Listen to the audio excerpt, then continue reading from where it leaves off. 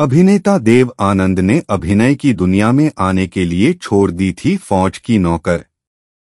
बॉलीवुड के एवरग्रीन अभिनेता की जब भी बात आती है तो निश्चित तौर पर सबसे पहले जहन में देव आनंद साहब का नाम सामने आता है। एक ऐसा अभिनेता जिसने हिंदी सिनेमा में छह दशक तक अपने मुस्कुराते चेहरे, लुक्स और अदाकारी के अलग अंदाज से सबको आकर्षित किया था। देव साहब अभिनेता होने के साथ ही फ़िल्म लेखक डायरेक्टर और प्रोड्यूसर भी थे। वे नवकेतन फिल्म्स उन्नीस सौ उनचास के को फाउंडर भी थे। वे बॉलीवुड इतिहास के सबसे महानतम और सबसे सफलतम अभिनेताओं में गिने जाते हैं। 26 सितंबर को देव आनंद साहब की अट्ठानवेवी जयंती है। ऐसे में इस मौके पर जानते हैं उनके जीवन के बारे में कुछ अनसुनी बातें। देश के बंटवारे से पहले शकरगढ़ में हुआ था जन्म। देव आनंद का जन्म 26 सितंबर 1923 को ब्रिटिश शासन वाले भारत के पंजाब प्रांत के शकरगढ़ में हुआ था। बंटवारे से पहले शकरगढ़ तहसील पंजाब के गुरदासपुर में आती थी। अब शकरगढ़ पाकिस्तान के नरोवल ज़िले में आता है। देव साहब का असली नाम धर्मदेव पिशोरीमल आनंद था और उनका बचपन से ही अभिनय की ओर झुकाव था। देव आनंद के पिता पिशोरी लाल आनंद पेशे से वकील थे। पैसे की तंगी के कारण छोड़ दी थी पढ़ाई।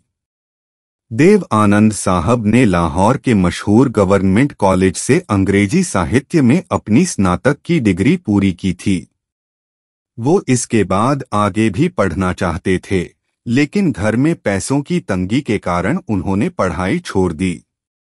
इसके बाद कड़ी मेहनत और लगन की बदौलत उन्हें मिलिट्री सेंसर ऑफ़िस में नौकरी हासिल कर ली थी, लेकिन उन्होंने एक्टिंग के लिए अपनी नौकरी छोड़ दी थी। इसके बाद देवानंद ने फ़िल्मों की ओर रुख किया।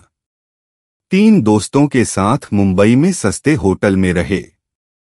देव आनंद साहब वर्ष 1943 में अपने अभिनय के सपनों को साकार करने के लिए मुंबई पहुँचे थे।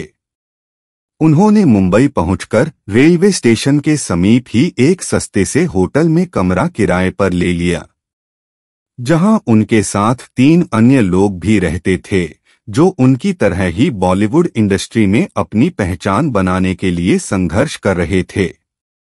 हम एक हैं से किया था फ़िल्मों में डेब्यू। देव आनंद ने मुंबई आने के तीन साल बाद, यानी वर्ष 1946 में फ़िल्म हम एक हैं से बॉलीवुड सिनेमा में डेब्यू किया था। पहली ही फ़िल्म से देवानंद को सिने दर्शकों ने पसंद करना शुरू कर दिया था। इसके बाद उन्होंने हिंदी फ़िल्म इंडस्ट्री को एक से बढ़कर एक कई बेहतरीन फ़िल्में दी। उन्होंने कई फ़िल्मों का निर्देशन और निर्माण भी किया था। साल 2011 में 3 दिसंबर को लंदन में देव आनंद साहब का निधन हो गया और इस दुनिया को हमेशा के लिए अलविदा कह गए। आज भले ही वे हमारे बीच नहीं, लेकिन हिंदी सिनेमा में उनका अतुलनीय योगदान हमेशा याद किया जाएगा।